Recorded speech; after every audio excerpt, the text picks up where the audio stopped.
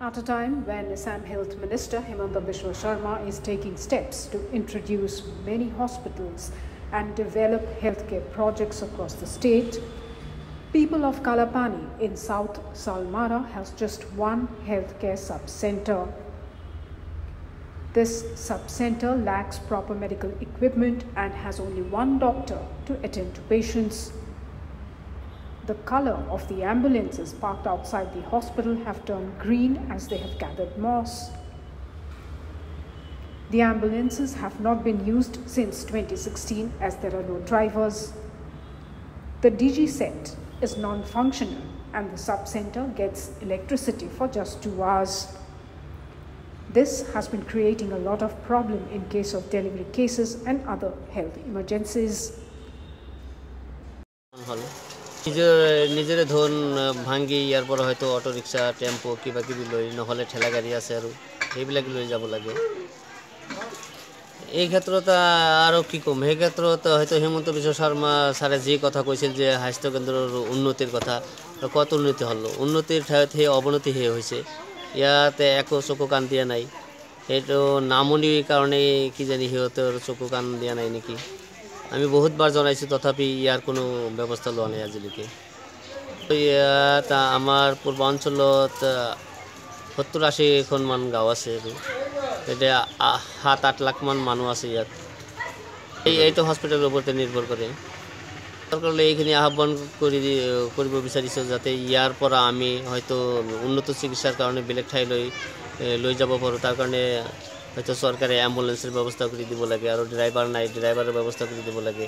আৰু ইয়াত উন্নত ধৰণৰ চিকিৎসাৰ সা সৰঞ্জাম যিবিলাক লাগে সেইবিলাক দিব লাগে। আৰু এজনহে ডক্টৰ থাকে এজন ডক্টৰে অফিচিয়েল কামো কৰিব লাগে। ইয়াত হয়তো ঠিকমতে থাকিব নোৱাৰে। তাৰ কাৰণে আৰু এজন ডক্টৰো দিব লাগে। আৰু ডেলিভাৰী ইয়াত বহুত এই পূৰ্ব অঞ্চলৰে এটাই হস্পিটেল ইয়াত বহুত ডেলিভাৰী আহে। সেই ডেলিভাৰীবিলাকে ঠিকমতে সা সুবিধা নাপায় বাতি চাকি নাথাকে। হয়তো এটা ডিজি আছে যদিও তথাপি সেইটো মেৰামতি কৰা নাই চৰকাৰে সেইখিনি মেৰামতি কৰি দি আৰু উন্নত ধৰণৰ যাতে ডেলিভাৰীৰ ব্যৱস্থা কৰি দিয়ে সেইখিনি আমাৰ চৰকাৰে আবেদন থাকে In case of emergencies, the residents of the area have to take the patients either to Goalpara or Guwahati for better treatment in private vehicles as the ambulance service has been stopped. কেন্দ্ৰত যি মানে যিটো ambulance সেৱা আগবঢ়াইছিল দুই হাজাৰ পোন্ধৰ চনত দুই হাজাৰ পোন্ধৰ চনৰ পৰা এতিয়া দুই হাজাৰ একৈছ চলি আছে। তেতিয়াৰ পৰাই ইঞ্জিন বিকল হৈ আছে। এম্বুলেঞ্চৰ লগতে এটা ডি জি দিছিল লাইনৰ ব্যৱস্থা কৰিবলৈ। ইয়াততো পূৰ্বাঞ্চলত লাইন নথকা বুলি ক'লেই ভাল হ'ব। কাৰণ আমি চৌব্বিছ ঘণ্টাৰ ভিতৰত মাথোন দুঘণ্টাহে লাইন পাওঁ। এই ডি জিখনো মানে বিকল হৈ আছে। ইয়াৰ পৰা পৰিলক্ষিত হয় যে পূৰ্বাঞ্চল মাইনৰিটি এৰিয়া সেইকাৰণে মানে চৰকাৰ হাত হাত কাণ হাত দিয়া নাই নেকি? এই হস্পিটেলৰ আণ্ডাৰত ধৰক পোন্ধৰ বিছখন গাঁও আছে। তাৰ ভিতৰত পপুলেশ্যন ধৰক এক লাখমান হ'ব চাগে। ক্ষেত্ৰত আচলতে দেখা যায় যে ইয়াত কোনো এম্বুলেঞ্চ সেৱা নথকাৰ কাৰণে ঠেলা বা ৰিক্সাৰ সৈতে ৰিক্সাৰ লৈ নিজৰ গাঁঠিৰ ধন ভাঙি বেলেগ উন্নতমানৰ চিকিৎসা কৰিবলৈ বেলেগ ঠাইত ডেলিভাৰী কৰিবলৈ লৈ যোৱা হয়।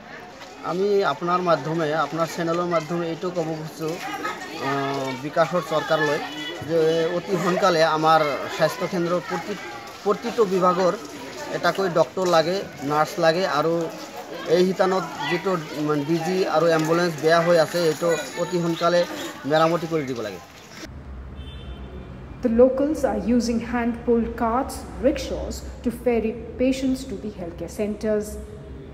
What the locals are asking is if the government is focusing on development of hospitals and healthcare facilities in other parts of the state, then why is government not focusing on places like Kalapani? Locals are also saying that the government is not concerned because Kalapani is an area dominated by minority communities.